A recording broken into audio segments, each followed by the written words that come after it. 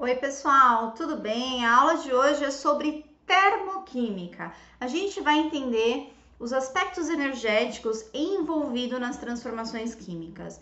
Então, para que a gente possa entender a importância da nossa aula de hoje, a importância desse tema, eu coloquei aqui duas perguntas. Você sabe como calcular as calorias de um alimento? Você sabe como é determinado o poder calorífico de um alimento? É sobre isso que nós vamos falar hoje tá? Quando nós falamos num processo químico, numa reação química, ela acontece com fornecimento de energia, né? Ou com absorção de energia. E é isso que a gente precisa entender, né? Como que esse fornecimento de energia acontece, de onde vem essa energia, né? Como que eu determino o poder calorífico de um alimento ou de um combustível? Né? O que, que é energia, qual a importância da energia. Então, hoje eu tenho um veículo, para esse veículo se movimentar, para o meu carro né, é, percorrer ali a distância que eu desejo, eu preciso abastecer ele com combustível. Ok? O que, que é esse combustível? Quais são as características desse combustível? Qual é o poder calorífico de um combustível? Se eu abastecer o meu carro com etanol e com gasolina, será que é a mesma coisa do ponto de vista energético? Por que a gente precisa de energia? Da onde ela vem? Em relação aos alimentos, né? Os alimentos são as nossas fontes de energia. E como que eu sei o poder calorífico de um alimento? Então a gente vai conversar sobre isso hoje, né? Vejam que o assunto de hoje é bastante importante, tem uma aplicação direta aí com, né, com o dia a dia, com o trabalho aí de vocês. E a gente vai começar, antes de responder aquelas perguntas, a gente vai responder essas perguntas no decorrer da nossa aula, mas eu coloquei aqui alguns conceitos que são importantes para que vocês entendam e tirem melhor proveito dessa aula, tá? O primeiro ponto é, o que é energia, né? Energia é a capacidade de realizar trabalho. Mas aí você está falando assim, mas o que é trabalho? Trabalho é um movimento contra uma força oposta. Por exemplo, tem um objeto no chão. Para que eu consiga levantar esse objeto, a minha mão, meu corpo, ele precisa realizar né, é, uma força contra a força da gravidade. Eu preciso aplicar uma força, melhor dizendo, contra a força da gravidade, né? Porque com a gravidade a tendência é puxar tudo para baixo, né? Então, uh, o trabalho é um movimento contra uma, for uma força oposta. Para que eu consiga remover um objeto do chão, erguer um objeto que está no chão, eu preciso de energia, ok? Então, a energia, para que eu consiga realizar um trabalho, eu preciso de energia.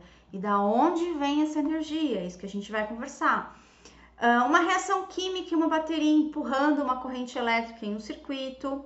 Misturas de gases quentes e um motor realizam um trabalho a empurrar um pistão né? Então, uh, se eu tenho um veículo, né? Como que esse veículo se movimenta? Ele precisa de energia, ele vai realizar um trabalho, no, né? O motor vai realizar um trabalho, ok? Eu vou ter um trabalho sendo realizado ali no motor, né? Em função dos gases. Mas enfim, o que eu quero que vocês entendam é que sempre que eu vou realizar um movimento contra uma força oposta, eu estou realizando um trabalho. E para que eu consiga fazer isso, eu preciso de energia. Então, a energia é fundamental não só para os nossos processos vitais, mas para diversos outros processos que ocorrem aí na sociedade que são benéficos para nós, tá? Outro termo importante é o calor, tá? O calor é a energia transferida quando há variação de temperatura. Então eu tenho uma região de maior temperatura e essa energia vai ser transferida para uma região de menor temperatura. Então aqui é o sentido do fluxo energético. Por exemplo, se eu for pegar ali um cafezinho, né, colocar num copinho plástico bem quentinho e levar aqui, trazer aqui para essa sala onde eu estou agora. O que, que vai acontecer com o tempo? O café tá mais quente que o ambiente, ou seja, né, é, eu tenho né, uma maior temperatura em relação à temperatura ambiente. O que vai acontecer é que o café começa a perder calor, né, perder energia para o ambiente. Então, a gente vai ser a transferência de calor do café para o ambiente, até que chegue o momento que a temperatura do café se iguale à temperatura do ambiente. Então, eu vou ter um fluxo de energia da região de maior temperatura para a região de menor temperatura, tá? Outro ponto que é importante, pessoal, são esses dois termos aqui, que é um processo é, endotérmico, perdão, e exotérmico. Uh, são, como eu disse para vocês, eu comecei né, tratando aqui de algumas nomenclaturas, alguns termos que vocês vão ouvir falar muito quando a gente fala de termoquímica, tá? O que é um processo exotérmico? É um processo que libera calor. Então, a queima de um combustível libera calor para que o veículo funcione, ok? Né, para que o veículo ali, é, o motor ali, eu tenho um trabalho realizado ali no motor do veículo, ok? Então, a reação de queima do combustível é uma reação exotérmica, ela libera calor. E eu também tenho processos endotérmicos. O que é um processo endotérmico? É um processo que precisa de calor, ele absorve calor. Se a gente pensar em fenômenos físicos, quando eu tenho água líquida e eu quero transformar essa água líquida em água é, no estado gasoso, eu preciso aquecer essa água para que ela entre em ebulição. Então, esse é um processo que absorveu energia, é um processo endotérmico. Do contrário, se eu, se eu quiser com que essa água é, no estado gasoso ela condense né, e se transforme em água líquida, esse processo vai liberar calor para o ambiente. Então, eu tenho um processo exotérmico. Então, exotérmico, eu tenho a liberação de calor para o meio. E endotérmico, eu tenho a absorção de calor, tá? Então, outro termo que é interessante é entalpia. Quando a gente fala em reação química, a gente usa muito esse termo de entalpia ao invés de calor, tá? Por quê? A maioria das reações químicas, elas ocorrem em recipientes abertos, né? Estando em contato direto com a atmosfera, tá? Então, aqui eu coloquei um exemplo, né? Se um gás é formado em uma reação química, suas moléculas irão realizar trabalho contra a atmosfera, né, para ocupar o, o, espaço. Então, grande parte das reações, elas ocorrem a pressão constante na pressão atmosférica, porque é feito no ambiente aberto. E a definição de entalpia é o calor liberado ou absorvido em um sistema a pressão constante. Então, grande parte né, do calor envolvido nas reações é um processo entálpico, ou seja, é um processo que ocorre à temperatura, à pressão constante. Então, sempre que eu tenho o calor liberado, absorvido num sistema que está à pressão constante, eu posso utilizar esse termo entalpia, tá? Então, entalpia e calor é a mesma coisa, porém, entalpia se refere a calor num sistema que está à pressão constante, tá? Esse modelo aqui, pessoal, é um modelo de um calorímetro. O que, que é um calorímetro, né? Vamos entender.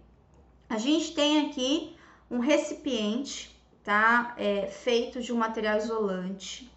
Aqui dentro do recipiente eu, eu coloco água destilada. Vocês podem ver que tem um orifício aqui com um termômetro.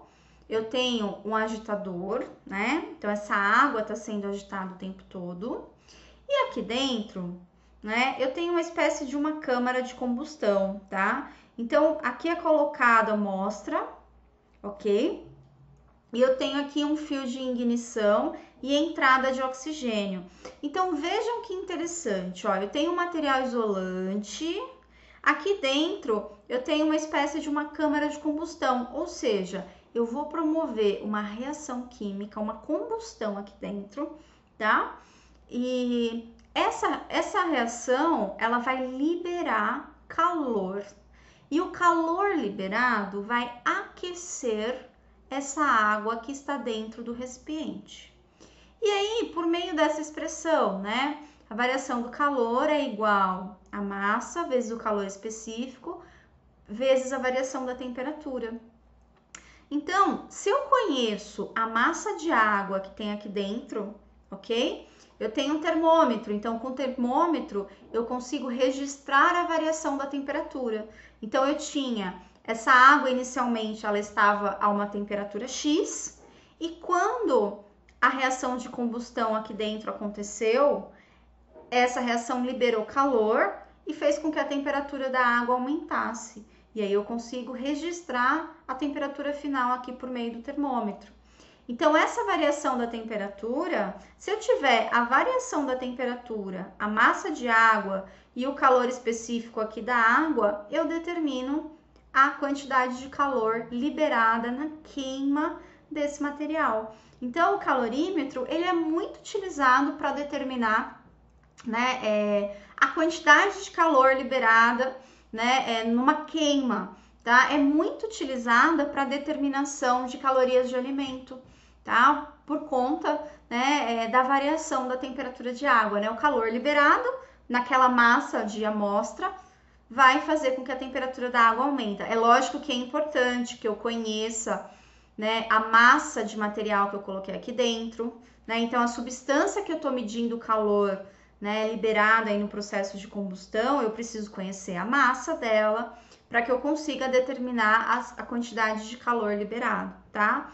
Mas é um experimento muito interessante e é a partir de um calorímetro que a gente consegue estimar o calor, né, as calorias fornecidas por um alimento ou o calor liberado na, na combustão de, de etanol, por exemplo, e assim por diante, tá? As reações exotérmicas, pessoal, elas é, são reações que fornecem energia, né? São fontes de energia. A combustão é uma das principais reações, né, é, utilizadas na indústria como fonte de energia. E o que, que é a combustão? Ela é uma reação de é, um combustível, ok? Com um comburente, que é o oxigênio, tá? E é uma reação que tem uma grande liberação de calor. O que, que é, o que, que representa, né, esses combustíveis, tá? Grande parte desses combustíveis são moléculas orgânicas, principalmente os hidrocarbonetos. São moléculas orgânicas, né, que apresentam às vezes cadeias ali com uma grande quantidade de ligações e essas espécies elas reagem com oxigênio.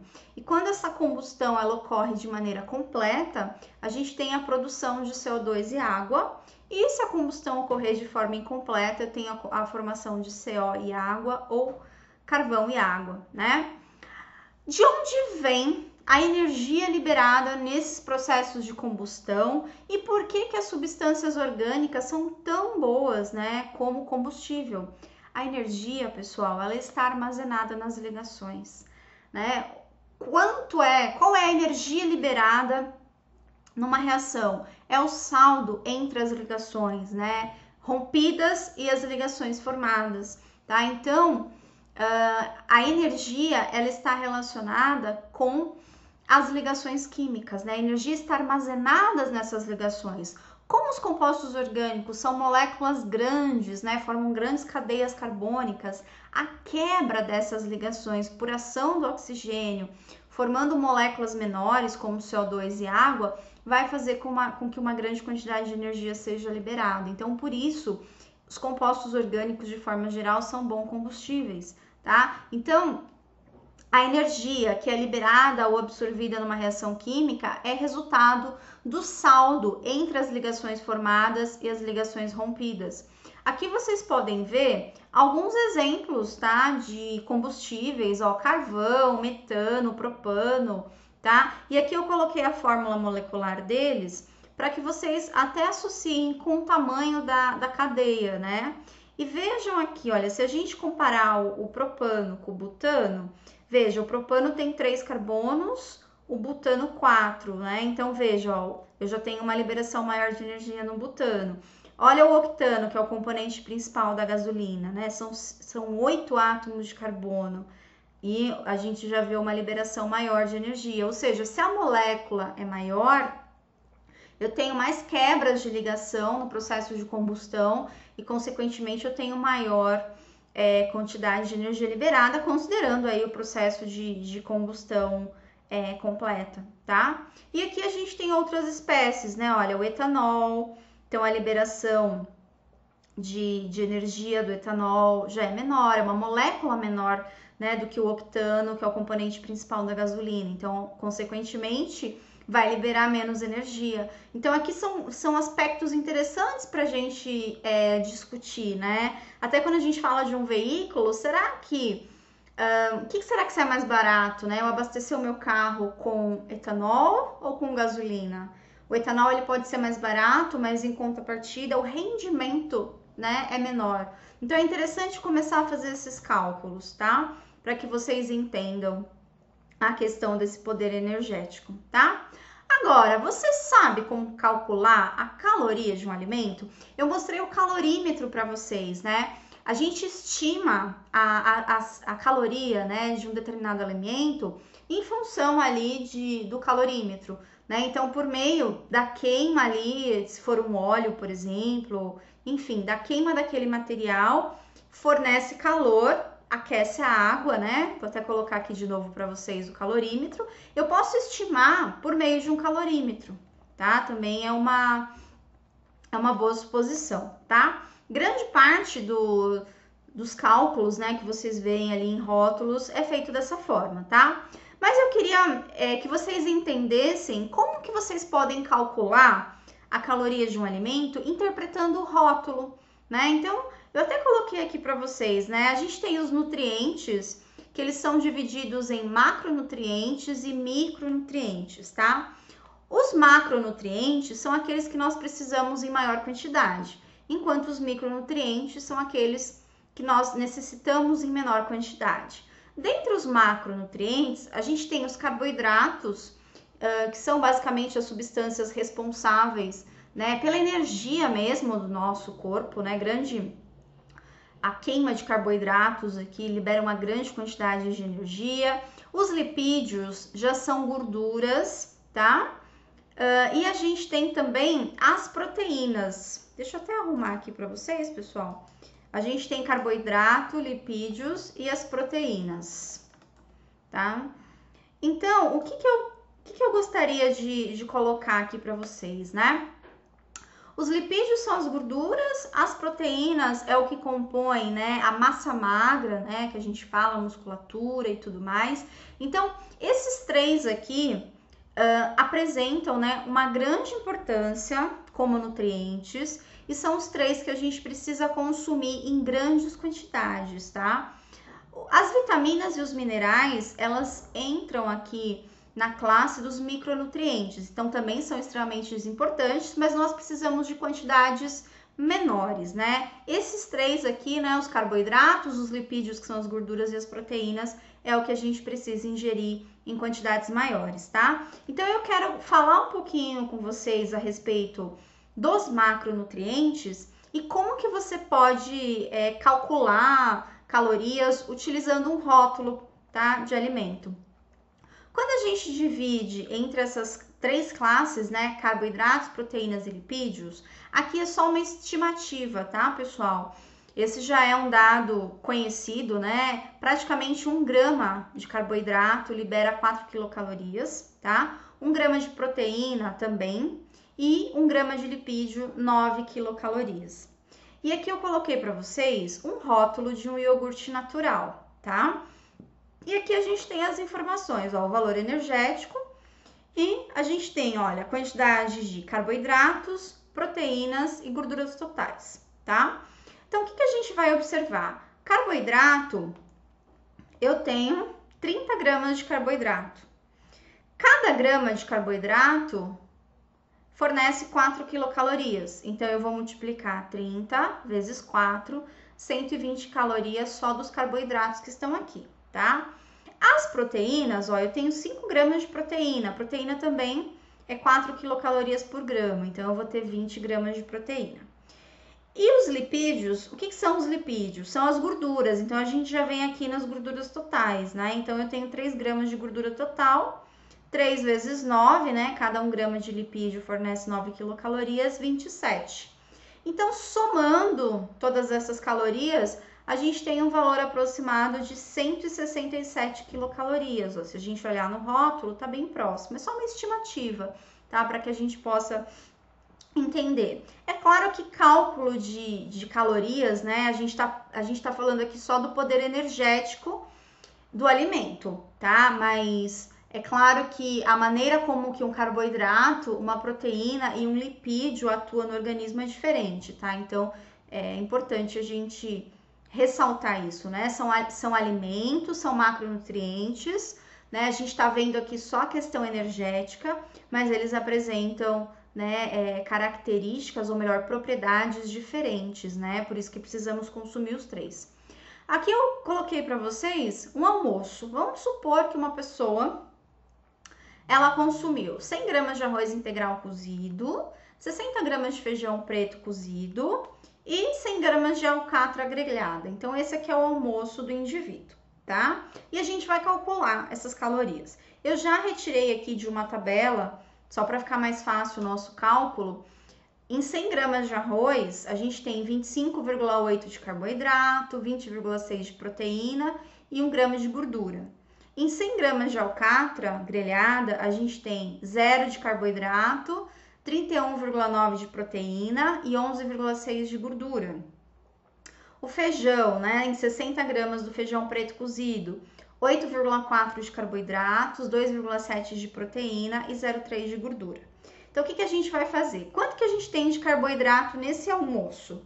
Eu tenho 25,8, 0 na carne e 8,4. Então, eu vou somar a quantidade de carboidratos e vou multiplicar por 4. Proteína, 20, é, perdão, 2,6, 31,9, 2,7. Eu vou somar e também vou multiplicar por 4, porque cada 1 grama de proteína fornece 4 quilocalorias. E lipídios, a mesma coisa, ó, 1 grama são as gorduras, né? 1 mais 11,6 mais 0,3, tudo isso vezes 4. Somando todos esses valores, a gente tem a quantidade de calorias né, é, que esse prato aqui fornece, tá? Então, só para que vocês entendam aqui por uma questão de, de curiosidade, né, como que a gente pode calcular calorias de um prato, né, de um almoço, de um jantar e também por meio de rótulos, tá? Então é isso, pessoal. Essa é a nossa primeira aula sobre termoquímica. A gente tem aí um conjunto é, de aulas sobre, sobre esse assunto. Então, nessa primeira aula, eu quis mostrar para vocês a importância, né, da gente associar as reações químicas com energia. A gente consegue obter energia por meio das reações químicas e tem reações que vão precisar de energia também para acontecer.